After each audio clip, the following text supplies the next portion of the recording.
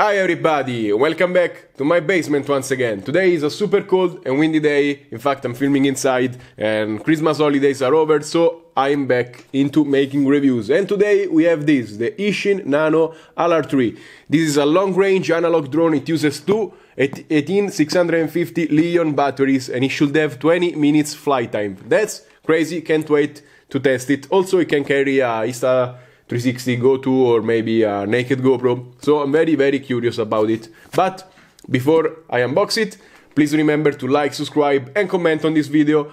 Help me grow this channel and if you need to buy anything, please remember to check out the links down in the description below. I always put discounts on them. So thank you so much. Let's go! Let's open the box and see what's inside. So, we have the drone well padded as you can see. Let's remove it. I'm gonna show it to you later. And then we have the accessories down here. We have two pairs of Gemfan 3016 3-inch propellers and I actually love them because I use them already and they fly amazing. Extra hardware, a couple of rubber bands and receiver connectors. Stickers right here, warning cards and actually a nice user manual. Actually Eachine stepped up its game because I remember them being much cheaper about their stuff. This is kind of nice.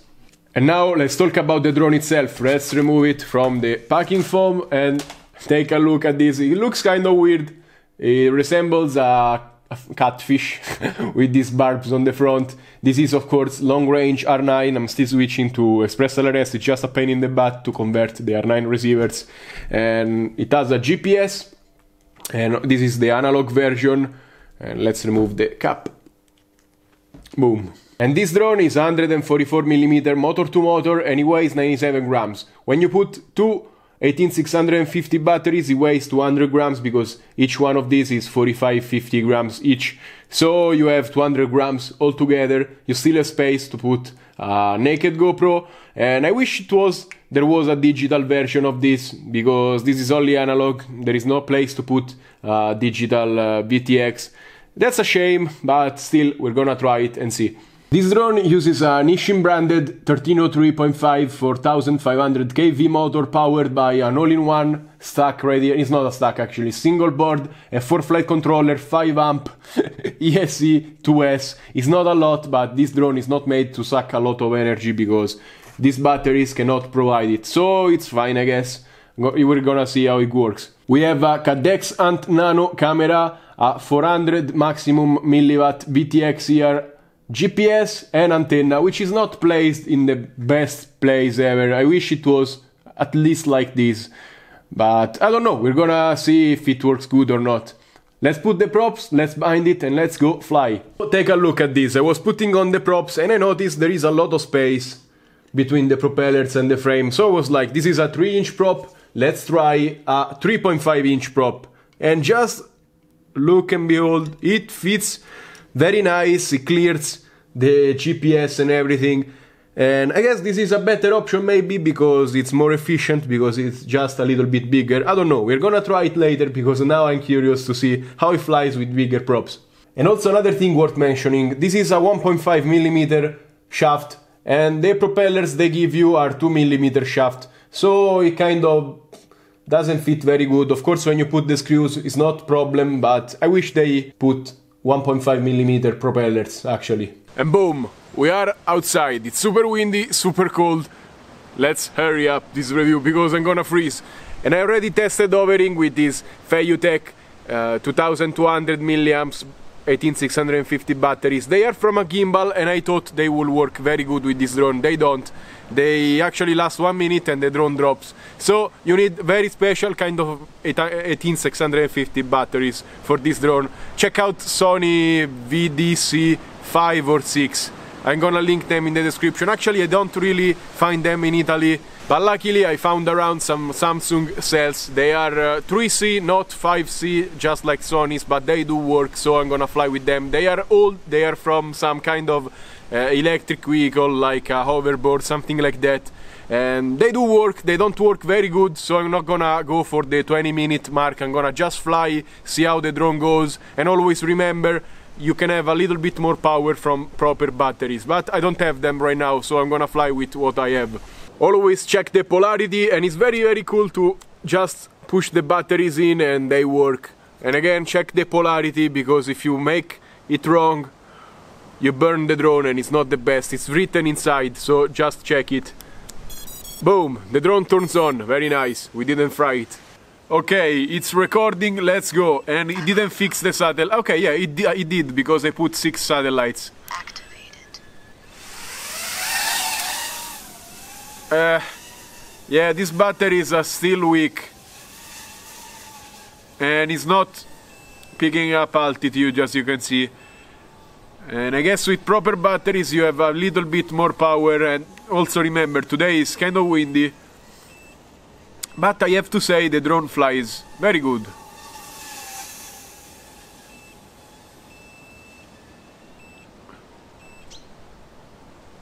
Yeah, I'm gonna stay my property because these batteries are gonna drop very soon. And is there a...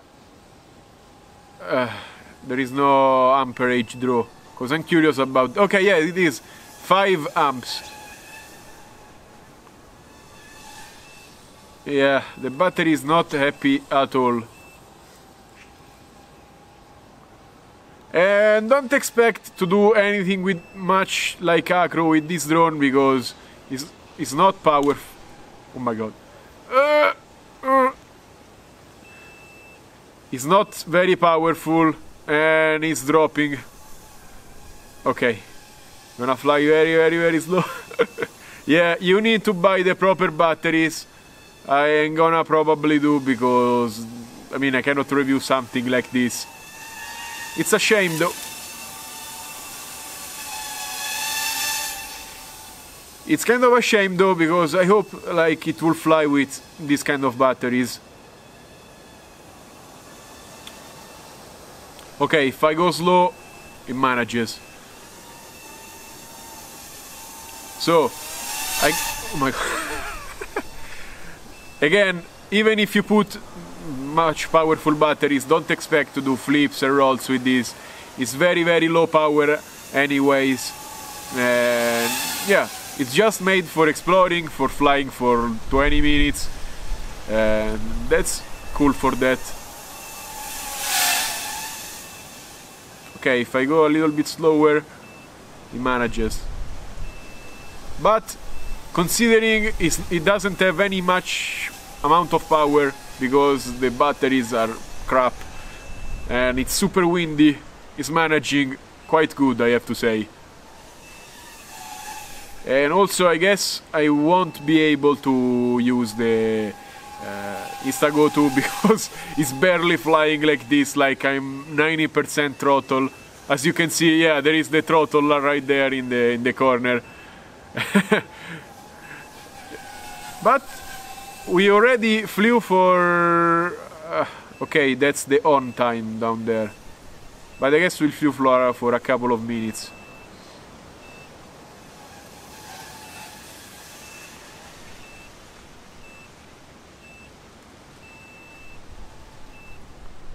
I mean, it's managing. Also, it's very cold, which doesn't help the batteries. But I guess they're warming up because I'm just... Uh, no! what a crap review.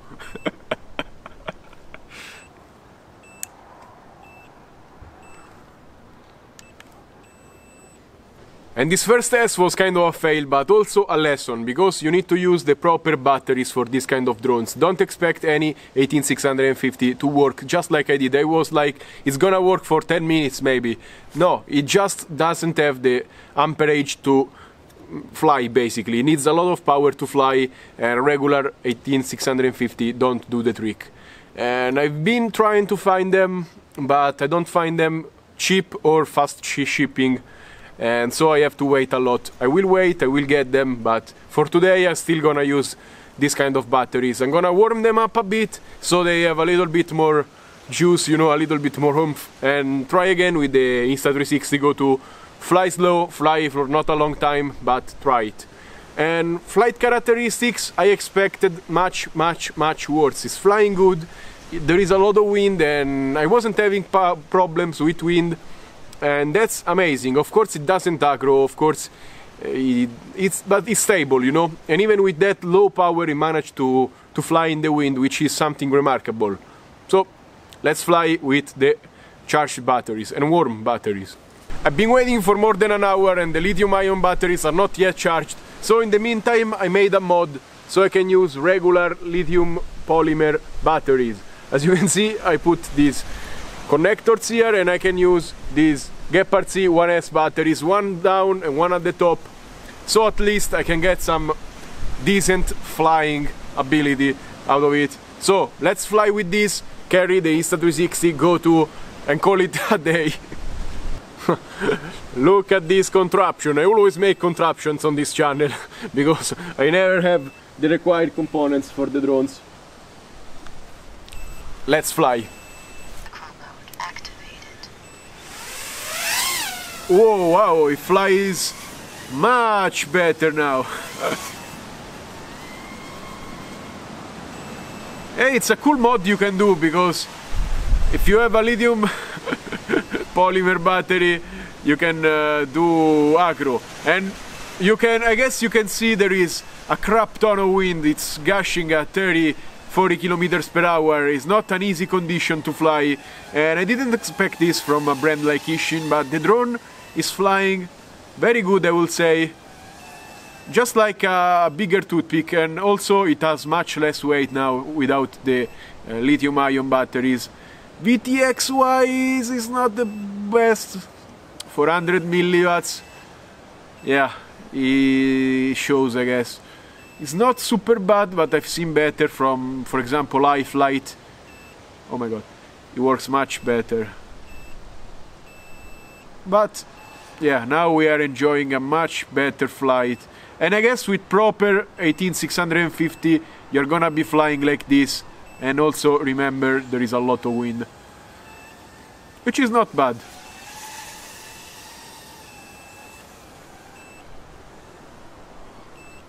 yeah now it has more power for sure but also the batteries I chose are a little bit small but I don't have that huge selection of batteries 450 milliamps I guess they are 2S it's, oh my god they win it's crazy